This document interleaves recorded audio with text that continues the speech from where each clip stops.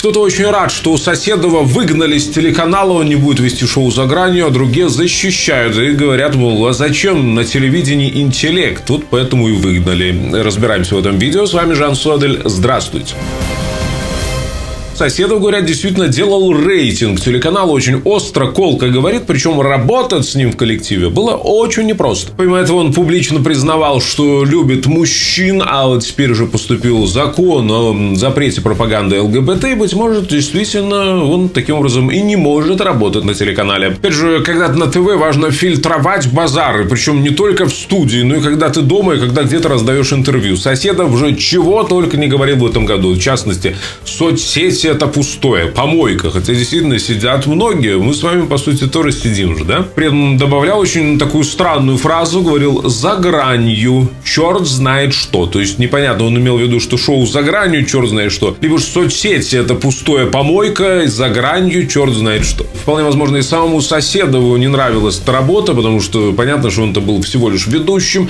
а вот сценарий, вот монтаж и так далее делали совершенно другие люди, было руководство, ему давали задания. Но сейчас официальная версия, почему его выгнали, потому что просто в этом месяце у него закончился контракт и не стали продлевать. Вместо Соседова вести теперь будет некий Тимур Еремеев. Сразу я не понял так вот, кто это. А потом дошло до меня, что с Кудрявцевой это он вел шоу «Звезды сошлись». Помимо этого, был также в кухне в сериале неким Егором. Я смотрел этот сериал, ну, честно, Егора почему-то не помню. Я хорошо помню Агуска, естественно, шеф-повара. Что за Егор? Опять-таки, каким образом он всюду попадает? То есть, почему ему открыты дороги? На звезды сошлись, и вот теперь вместо соседа, быть может, Просто подвязки есть. Какой-то сын маминой подруги. Если в курсе какой-то информации, напишите в комментарии, обсудим вместе. И, кстати, вот что он говорит по поводу новой работы Еремеев. Цитата. «Мне всегда были интересны судьбы простых людей. Общество больше фокусируется на звездных перипетиях, но людей за пределами шоу-бизнеса вся жизнь порой достойна экранизации. Но поэтому за проектом «За гранью» я слежу с момента появления. Программа реально помогает решить проблему, уберечь от неверных поступков. По сути, все мы находимся за гранью. Эта программа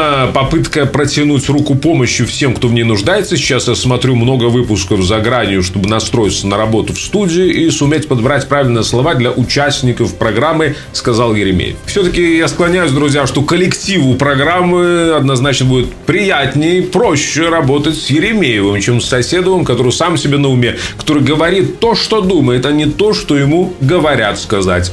Что думаете по этому поводу, напишите в комментариях, оцените видео, чтобы увидели другие, можете подписаться подкаст. Каждый день обсуждаем самые важные и интересные новости вместе. Есть вариант поддержки канала. Буду очень благодарен, если поможете. Кто сколько может. Номер карты и ссылка на донат в описании под видео. Спасибо, что со мной. С вами Жан Содель. До встречи. Хорошего дня.